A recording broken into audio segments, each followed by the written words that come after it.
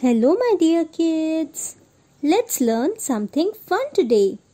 Let's see some pictures and guess what they are. A chair,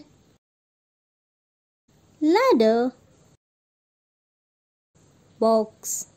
Yes, we see them everywhere around us, right? All these things are made up of wood. But do you know where does wood come from? The trees. Trees gives us wood. But how? Let's see. When trees grow big and tall, their trunk, branches and twigs form the wooden part. Then the trees are cut down and the wood is collected. Trees like mango, maple, oak, pine, walnut, etc gives us lots of wood. Also, wood is of various colors and types. Each type of wood is used to make different things. Now, let's see some more pictures and guess what they are. Money,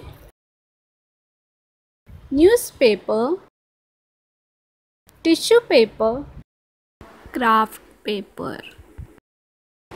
All these things are made up of paper. And do you know? Paper comes from wood. But how? Let's see. The wood collected from the trees is chopped into small bits. Then the chopped woods and water is added to a container and boiled together to make a pulp. This pulp is passed through a machine to filter it and make it white. At last, the filtered white pulp is passed through various rollers and paper is ready. I have more pictures. Let's guess what they are. Notebooks, storybooks, magazines. All these books are made from paper. Let's see how books are made from paper.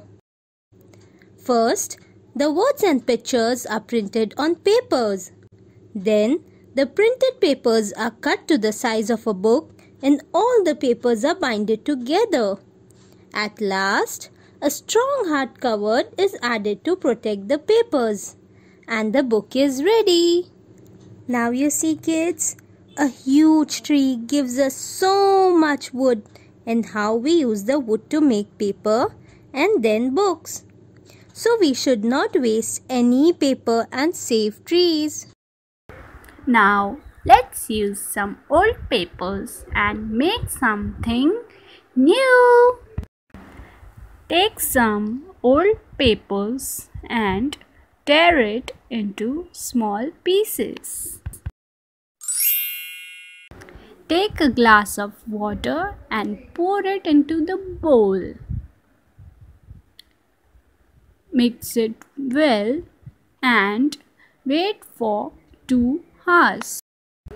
Tell your elders to make a paste like this in the mixer grinder of the soaked paper.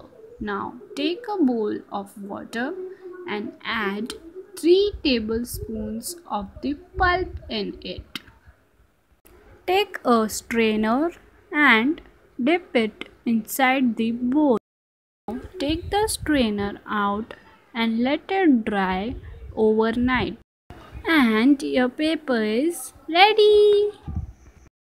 You can decorate your paper as you like with colors and other things.